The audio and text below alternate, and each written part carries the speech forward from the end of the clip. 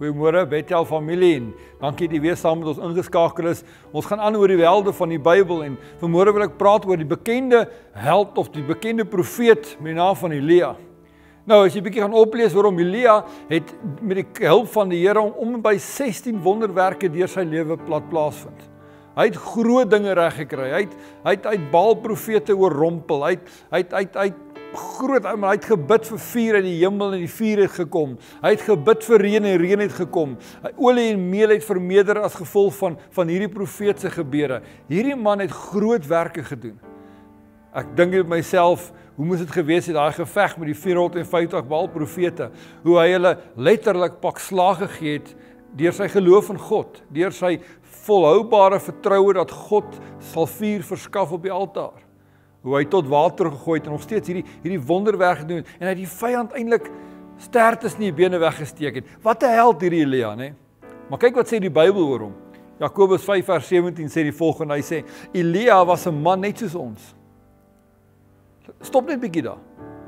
Jakobus sê vir my en jou dat Elia, hierdie man wat hierdie wonderwerke gedoen het, eintlik 'n man was net soos ons. Hy sê toe hy ernstig gebid het dat dit nie moes reën nie, het daar vir 3 jaar en 6 maande lank nie 'n druppel op die aarde geval nie. 'n Man net soos ek en jy, 'n gewone mens, maar met die krag van die Here kon hy al hierdie wonderwerke doen, kon hy 'n held word. Jy sien God gebruik mense net soos ek en jy.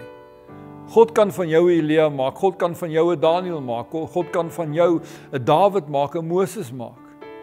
God het die vermoë om 'n gewone mens te omskep in iets wat die wêreld stormloop, wat die vyand met sy sterktes sy, sy bene wegjaag. Die God het 'n manier om om die eenvoudige mense gebruik. Ek het begin daarmee toe hoe Dawid ook gepraat het dat dat dat Paulus sê so baie wanneer ek swak is, is God sterk. Jy sien God soek juis hulle wat afhanklik is van hom. En daarom gebruik hy mense soos ek en jy. Mense wat ook foute maak, wat ook baie keer nie alles bymekaar het nie. Wat ook baie keer voel dat die die toue val en die balle val en ons kry nie alles in lug gehou nie. God gebruik ons.